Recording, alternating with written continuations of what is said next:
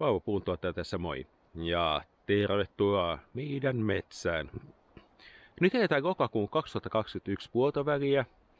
Ja täällä alkaa, syksy alkaa nyt iskemään jo aika vahvasti. Me tultiin tänne meidän tikuksille, otin tässä pari yötä. Ja tänään nyt puretaan toi trampoliini tosta pihasta, ettei talvi tuho sitä. Ja muutenkin laitetaan kaikki kamppeet sellaiseen tilaan, että talvi saa tulla. Mä kyllä haluaisin tuoda vielä käymään tässä tänäkin vuonna vielä lisää, mutta kuitenkin niin valmistellaan nyt paikat siihen, että ei ole mikään pakko. Meillä olisi tässä metsähoidollisesti tässä meillä on aika hyvä tilanne, eikä me tässä meillä on, mehän tulee tää uusi tie. Kaivikone kuski kävi kolme viikkoa sitten. Mä olin silloin niin kuin, ehkä hieman väsyneessä tilassa, niin en lähtenyt kuvaamaan ja kiusaamaan toista siinä kävelyllä täytyy tietysti toivoa, että hän tulee, mutta me kuitenkin meillä on nyt niin täällä meidän tielinja merkattuna hyvin. Meihän siis tää tilus on 50 hehtaaria suunnilleen. Jakaa asfaltitie jakaa tämän aika täydellistä.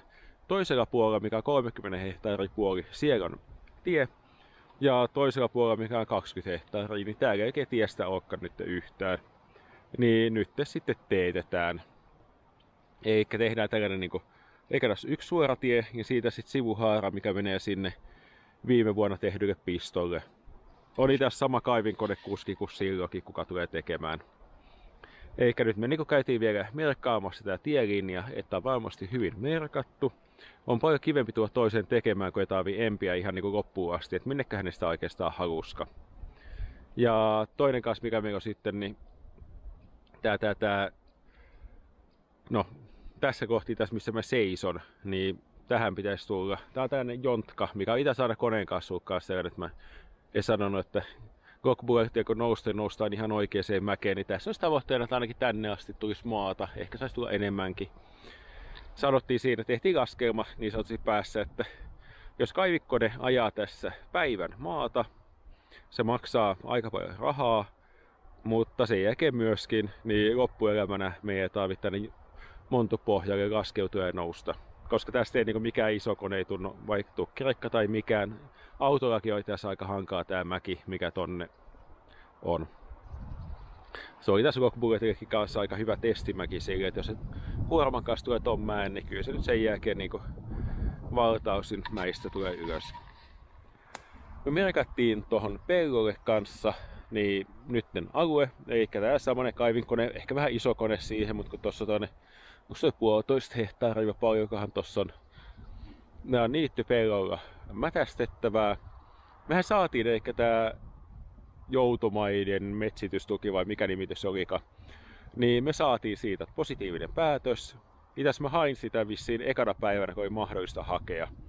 Ja mä tiesin, että rahat tulee kuitenkin loppumaan, niin heitin ihan heti paperit jonoon, saatiin päätös siitä, eli nyt tulee mätästys, merkattui siihenkin rajat sille, että toisen ei tarvi pohtia siinä, tai me ei ole pettyneitä, tai toinen ei pohdi, että mihin alue tulee, niin merkkaitiin se, jonka jälkeen taas sitten kaivikone mätästää, tilaan taimet, toivottavasti saisi tuossa taimityylillä taimia nyt, niiden omia hyviä koivuja, mitä aikaisemminkin ollaan käytetty.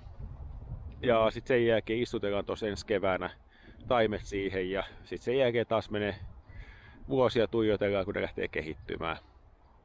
Mitäs kanssa vaimokas pohdittiin sitä, että, tai siis, no mä oon nyt yli 40, mä oon, ja sitten sen jälkeen koivu, niin 3-40 vuotta, niin täällä on huippukierrot tällä seudulla. Niin olisi aika rajua, jos vielä päästäisiin itse hakkaa se alas. Sellainen pieni elämäntavoite tässä on, että saisi itse uudistaa se koiviko, mikä nyt kuitenkin niin me ei ole enää mitään teinejä tässä. Tai vaimohan aina 27, mutta me ei ole teinejä, niin jos saisi itse kuitenkin uudistaa oma istuttamansa. Monet kohteet, mitä tässä on nyt istuteltu, niin ne on nyt ihan rehellisesti tiedetään, että mitä istutellaan, niin joku toinen hänet tulee kaatamaan. Mutta se on niin tämän ylisukupolvisen metsähoidon oikeastaan normijuttuja. Joo, mutta itse kanssa tässä tämä kaivikone tulee nytten, niin Tää on aika tuulinen päivä, sen takia mä viitin kävellä tonne aukeamille paikoille. Niin tulee tonne toiselle puolelle. Meillä on siellä se vanha tie, mikä oli ihan hyvä.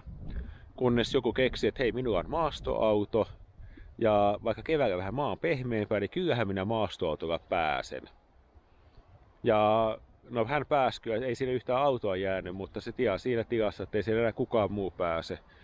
Joten jos joskus ihmettelette maaseudulla, että minkä takia täällä on puomia teissä, että onko ihmiset niin juomitun itsekkäitä kitsaita, että muut ei saisi käyttää niitä teitä, niin syy on kyllä siinä, että ne tiet käydään hajottaa. Meikä nyt syntyy ihan aidosti aika iso kustannus siitä jonkun ihmisen maastoautoilottelusta.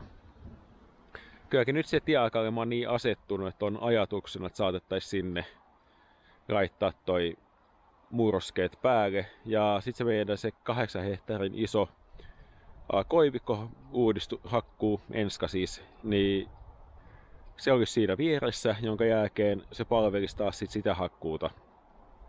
Sellainen ajatus. Ja joo, eikä täällä näin nyt on tämän tyyppisiä metsäpuuhia. Mä tein näitä videoita osakseni tässä itse kanssa muistiin, koska on kauhean kiva jälkikäteen katsoa vaikka miltä metsä on näyttänyt, minkälaista oli ennen kuin oli tie ja muistella niin vanhoita videoita omaan metsähoitoonsa. Töitten puolestahan mulla tällä hetkellä aika julmettu kiire. Mun piti käydä koneakriassa, en mennyt. Laskin, että tämän, jos jätän yhden työpäivän pois, niin mulla tulee myöhästymä. Joten tärkeämpää on toimittaa kuin käydä messuilla. Olisiko tehnyt tosi paljon miekävä messuja ja katsoin, että se on hyvä tunnelma. Mutta nyt jäi ne välistä. Ja sitten sen jälkeen tässä näin nyt vuosi etenee. Ja ensi keväänä sitten, itäs meillä on toi 2012 istutettu kuusikko, istutettiin lepikkoon, mikä oli pelloraidassa. Niin sen jälkeen sitten, siellähän on noussut koko ajan pidin pienen tauon tässä näin, koska tuli niin kauhean tuuli, että mä tiedän, että tää olisi huutanut tää mikki hoosiannaan. Joo, mutta ehkä me oli 2012 istutettu kuusikko ja tehtiin lepikkoa. Se oli ihan siis puhdasta lepikkoa, mihin me uudistettiin se. Tiesimme sillä hetkellä, että kasvu tulee olemaan hyvää, mutta myöskin siellä sitten sen jälkeen tulee nousee röyhnää, niin ensi keväänä käydään vetää se, eikä metsäkierrossa sen näppärät kesällä käy hoitamassa koivikot, eikä kantovesat ei nouse siitä. Sitten sen jälkeen syksyllä on hyvä mennä hoitaa marttuneemmat havumetsät.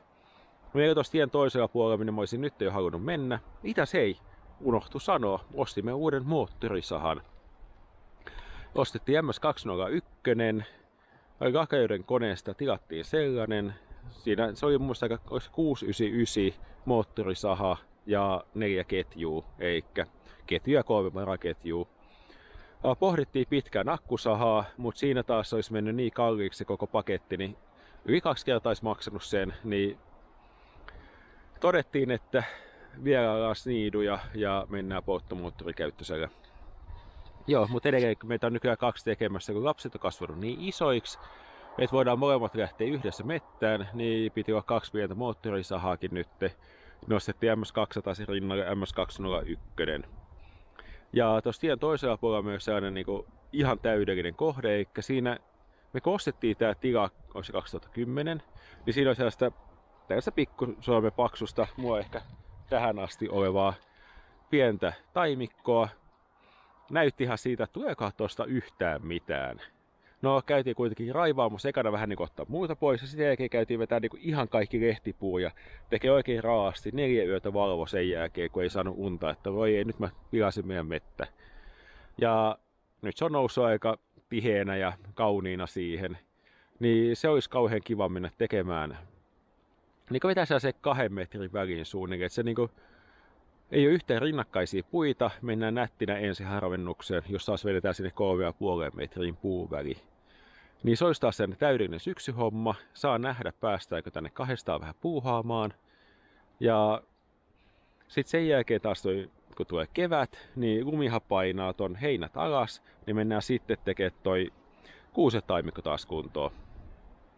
Eli yössä kannattaa tehdä sitä, mikä on kaikkein helpointa tai mikä sopii siihen aikaan.